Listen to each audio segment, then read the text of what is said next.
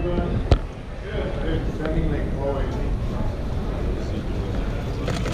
Viva.